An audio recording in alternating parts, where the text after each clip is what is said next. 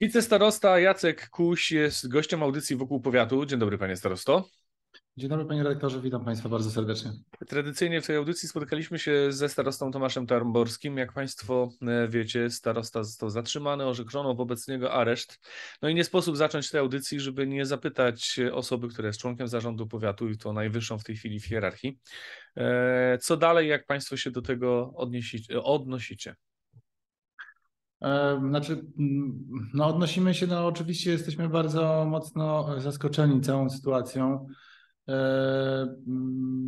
Spadło to na nas jak grom z jasnego nieba i dzisiaj na pewno mamy wnioski takie, że jedna strona, czyli prokuratura przedstawia zarzutu, zarzuty panu, e, panu staroście, z drugiej strony docierają do nas e, informacje o E, o tym, że te zarzuty nie są podparte e, żadnym materiałem e, dowodowym. Z tego, co pan redaktor również pisał, czytałem na, czytałem na portalu Miasto Kołobrzeg.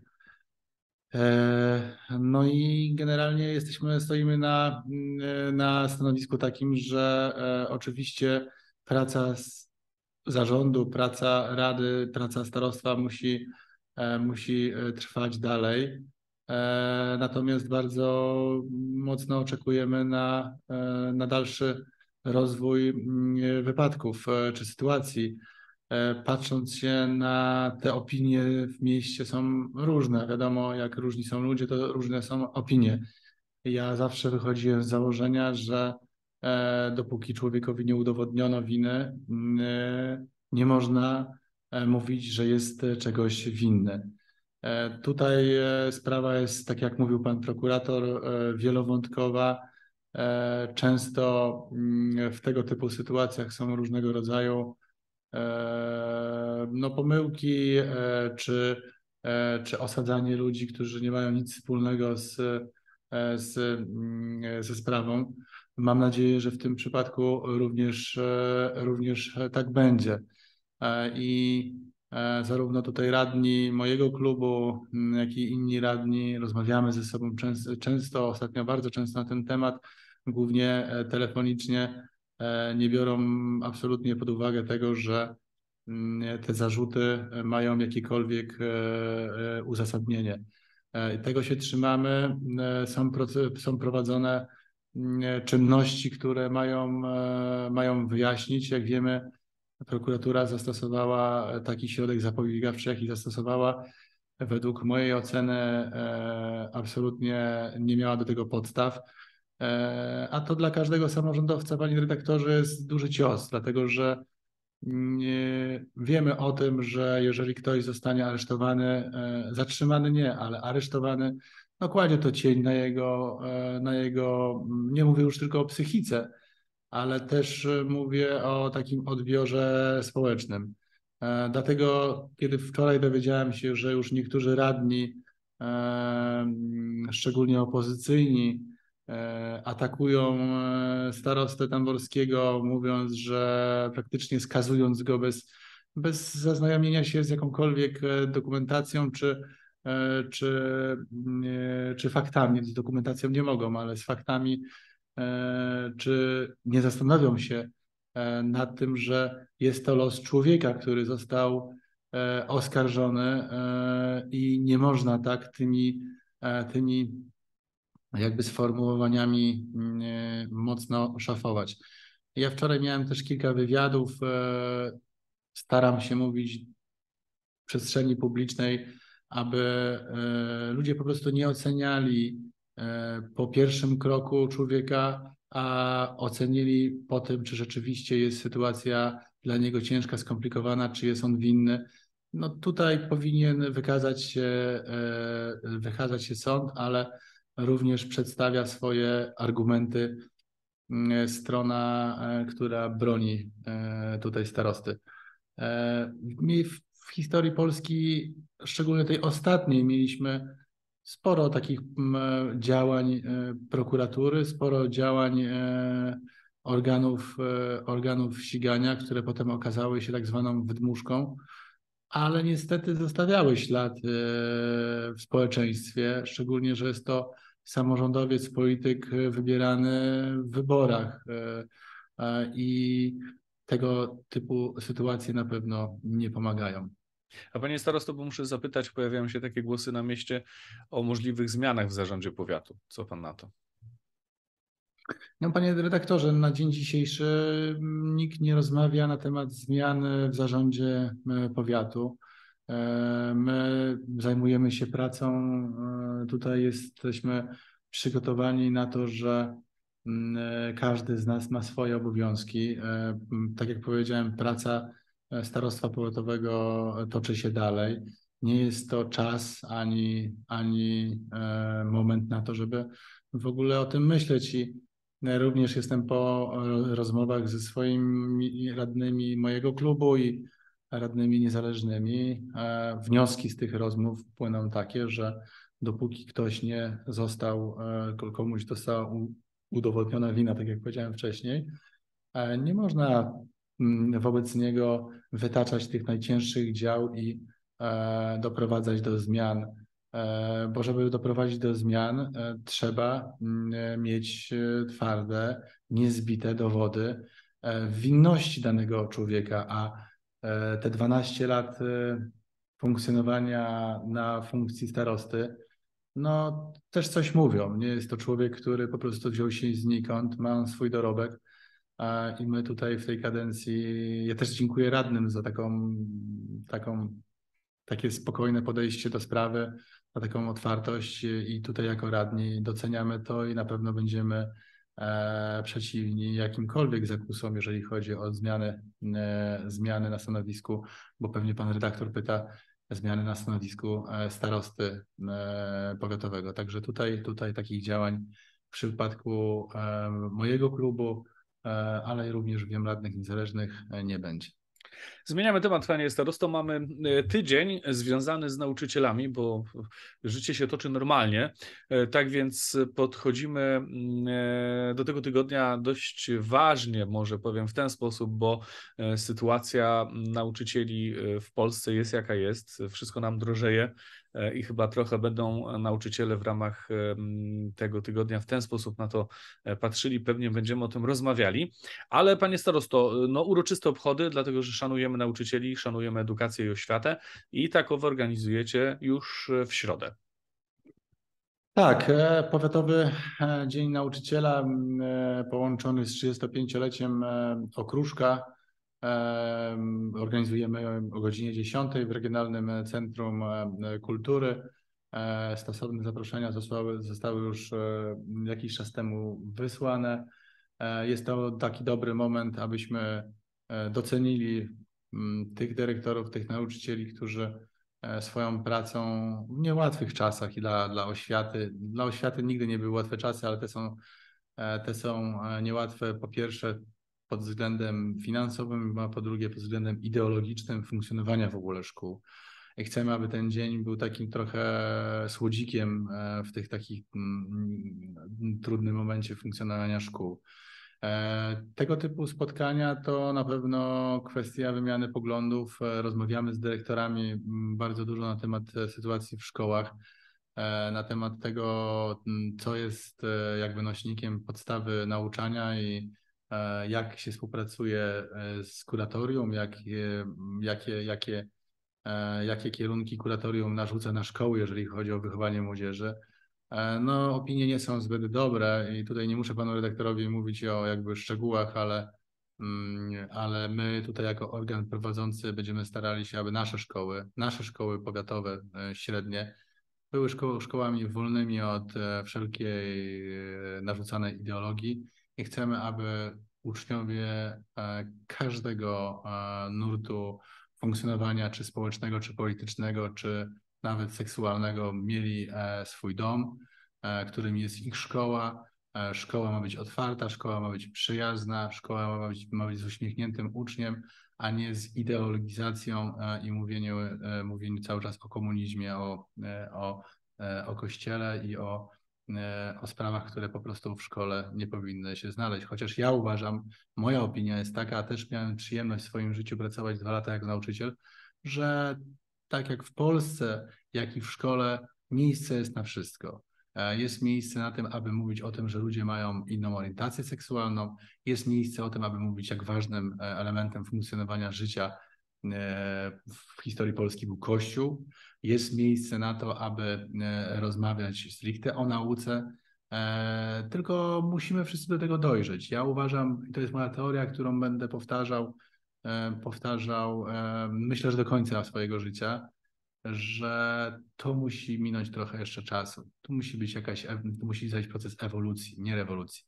Pokolenie naszych dzieci będzie już zupełnie inaczej myślało, inaczej ta szkoła będzie wyglądała. Dzisiaj jeszcze stoimy jedną nogą pomiędzy wśród ludzi, którzy E, decydują o tej szkole, a pamiętają jeszcze stary system, e, jest to jakiś taki, taki, taka naleciałość historyczna, e, a druga strona stoi w, po stronie nowoczesności, Unii Europejskiej i tak dalej. Więc jest ta bitwa ideologiczna i w poligonem jest niestety szkoła. Ja oczywiście nie muszę podkreślać, że tak jak powiedziałem o, o, na, na początku wypowiedzi, jeżeli chodzi o ten temat, że miejsce jest na wszystko, żeby pokazać każdą stronę historii, żeby pokazać każdy plus, minus tego, co się działo za nami, e, ale nauczyciele potrzebują do tego swobody, a nauczyciele nie, nie mogą e, czuć się e, inwigilowani czy, czy traktowani w sposób taki przedmiotowy przez, przez organ pod tytułem kuratorium i ministerstwo, a tak niestety jest. Jest to moja subiektywna opinia, którą sobie pozwoliłem wyrazić przy okazji tego pytania e, pana redaktora, ale e, żeby zakończyć ten wątek, chciałbym z tego miejsca podziękować e, z całego serca wszystkim nauczycielom, którzy pracują i w szkołach poetowych, i w szkołach miejskich za ciężką pracę i za to, że jesteście z nami i że robicie wszystko, aby nasze dzieciaki, nasza młodzież była, mówiąc w bardzo dużym skrócie i, i, i, i obrazowo, normalna. Zgadza się. No, w pełni się podpisuję pod tymi słowami. Mniej głupoty politycznej zwłaszcza i wtedy na pewno młodzieży będzie e, lżej. E, panie starosto, zmieniamy nieco temat, bo e, zakończył się wrzesień. Wrzesień to propozycje do budżetu. Widziałem waszą konferencję prasową. 33 propozycje składa Lewica E, do budżetu miasta, do budżetu powiatu i są takie właśnie propozycje. E, czasami można odnieść wrażenie dość e, kosztochłonne. No i chciałem pana zapytać o komentarz do tych propozycji, no i na co nas będzie stać w 2023 roku. Mm, panie redaktorze, generalnie no, życie toczy się dalej. Wiemy, że sytuacja gospodarcza, makroekonomiczna jest bardzo trudna. No ale mm, za coś też nam płacą, tak? Jesteśmy członkami zarządu, którzy muszą planować, radni muszą planować i życie musi toczyć się dalej. Rzeczywiście ten budżet, który przedyskutowaliśmy sobie z naszymi e, koleżankami, kolegami e, z klubu Platformy, z klubu PSL-u, jest dosyć ambitny. Każda, każda z opcji wniosła swoje pomysły do tego budżetu. Mamy świadomość, że część tych rzeczy może się po prostu nie udać zrobić, bo będziemy musieli dostosowywać finanse do, do sytuacji e, na przykład e, na rynku energetycznym. Ale te główne założenia chcemy zrealizować. Chcemy wykonać e, rozłożoną na półtorej roku inwestycję ulicy Wyzwolenia. Chcemy zbudować dom dziecka. Chcemy wykonać remonty ulic tych powiatowych koło brzegu ulic, które jeszcze nie są wyremontowane, a, a codziennie słyszę, że no w XXI wieku w takim mieście jak Uzdrowisko Kołobrzeg to powinno być zrobione. Te miliony są oczywiście na to potrzebne i będziemy starali się to, e, to zrobić. Będziemy chcieli e, rozmawiać z nauczycielami na temat e, podwyżek tyle, ile możemy dla nich. I tak jesteśmy umówieni ze związkami zawodowymi, że tylko jak będziemy mieli wiedzę w marcu, kwietniu, jak będą wyglądały finanse po okresie zimowym starostwa powiatowego, wrócimy do rozmów, jeżeli chodzi o motywacyjne na przykład i o, i o wychowawcze. E, musimy w końcu podjąć decyzję. Tutaj pierwszy krok postawiliśmy, zrobiliśmy dokumentację projektową, jeżeli chodzi o budynek starostwa. Wiemy, że 30 milionów, no nie stać nas na to. Chcemy na bazie tego projektu troszeczkę odchudzić tą inwestycję i wykonać przedsięwzięcie pod tytułem e, budowa archiwum i Wydziału Komunikacji.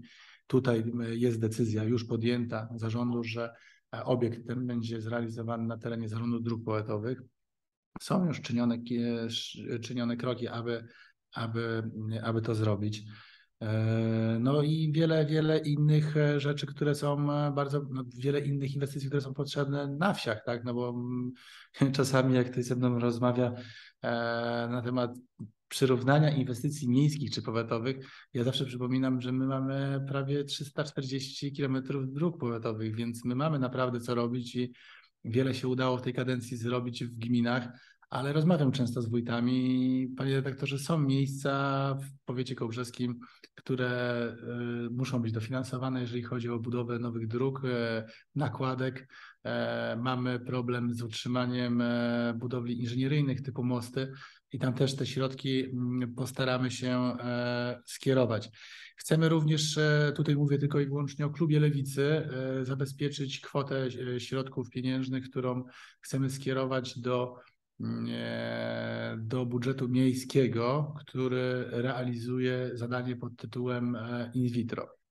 Czyli E, czyli program, który, e, który w tamtym roku zafunkcjonował w Urzędzie Miasta. Chcemy, aby powiat również dołożył się jako pomoc dla gminy miasto Kołobrzeg w celu realizowania tego programu. Chcemy, aby to dofinansowanie do poszczególnej pary, która się stara o e, zapłodnienie pozaustrojowe było większe i myślę, że tutaj też będziemy z radnymi, z radnymi rozmawiali. Ja tutaj po, po, pozwoli Pan, że e, użyję swojej ściągi, bo tych rzeczy, e, tych rzeczy troszeczkę jest. Jest budowa ścieżki rowerowej łączącej Kołobrzeg z Grzybowem, to też jest bardzo, bardzo ważna. No i czekamy na decyzję, myślę, że w listopadzie, w grudniu e, będziemy mieli e, ostateczną decyzję na temat dofinansowania przebudowy gruntownej w końcu ulicy Jedności Narodowej. To, to, to, to dla nas bardzo ważne zadanie na które również będziemy musieli poświęcić sporo środków, e, nawet jeżeli chodzi o, o wkład własny. Więc tych, e, tych, tych, e, tych planów jest dużo. Oby udało się je wszystkie zrealizować. No tego życzymy, panie starosto. Ale od tego jest budżet, my będziemy do tych rzeczy wracali. A właśnie, właśnie, bo pan powiedział o rozłożonej na półtora roku ulicy Wyzwolenia. A jak wygląda e, przygotowanie do tego? Bo ostatnio słyszałem, że to jest już gdzieś na etapie przetargu, coś ten, coś w ten sposób, tak? Tak, e, jesteśmy już po rozstrzygniętym, można powiedzieć, przetargu. Wpłynęła jedna oferta. Mm, e, prawie zmieściliśmy się w kosztach, bo to jest e, koszt 16 milionów 300 tysięcy, plus minus, mogę się o kilka tysięcy pomylić. E, powiat kołobrzeski decyzją Rady będzie musiał dołożyć do tego zadania około 300 tysięcy jeszcze. Oprócz, mówię o tych środkach, które wynikły z przetargu, a oprócz tego 700 tysięcy, jeżeli chodzi o całą inwestycję. E, I myślę, że na początku listopada e, podpiszemy z firmą Strabag bodajże, która wygrała, e, wygrała to postępowanie. I jeszcze w tym roku rozpoczęta zostanie inwestycja, którą, na którą bardzo mocno czekamy i czekają, czekają mieszkańcy gminy Kołobrzeg, ale miasta Kołobrzeg pewnie też, bo bardzo dużo korzystamy z tej drogi, jeździmy do Dźwiżyna, chcemy, żeby te ścieżki rowerowe były tam poprawione, żeby ciąg komunikacyjny był zrobiony. Dźwiżyno to jest połączenie koło brzegu już e, z, e, z Brzeżynem i z tą mm, bardziej zachodnią stroną e, naszego wybrzeża, więc myślę, że no ja się bardzo cieszę, że, że nam się to udało zrobić. Cieszą się radni, szczególnie tam waleczna nasza Marta Skubisz, która jest radną z, z Dźwiżyna, która bardzo mocno walczyła o tą drogę i to za każdym razem jej dziękuję, że nas tutaj podtrzymywała na duchu, jeżeli chodzi o walkę o pieniądze e, na tą inwestycję. Także cieszymy się, podpisujemy umowę i do, do pracy. Panie starosto, to ostatnia kwestia, bo nasz kolega redakcyjny Artur Sempruch e, odwiedził ostatnio Dom Pomocy Społecznej, filia Kołobrzeg, no i zamknięty jest już na głucho. E, pytanie, co dalej? Co tam zamierzacie? No są dwie koncepcje. Pierwsza koncepcja to jest zaadoptowanie budynku na potrzeby szeroko pojętego określenia społeczne, e, na potrzeby, które starostwo powiatowe na pewno ma, jeżeli chodzi o, o na przykład usytuowanie jakiegoś wydziału pedagogicznego, który tutaj funkcjonuje na przykład na ulicy Piastowskiej, który też ma bardzo mało miejsca, ale mamy bardzo duży problem, bo jesteśmy po inwentaryzacji całego obiektu.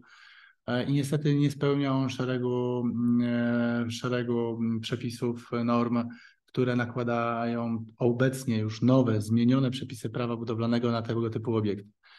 E, no i rozmawiamy oczywiście w łonie zarządu, e, co dalej z tym obiektem. Pierwsza koncepcja to jest taka, aby ten, ten budynek dostosować, a druga koncepcja to jest taka, żeby ten budynek sprzedać i przeznaczyć wszystkie środki na, na remonty i na dostosowanie e, pomieszczeń w dwóch, w dwóch obiektach naszych DPS-ów, czyli we Włościborzu i w Gościnie.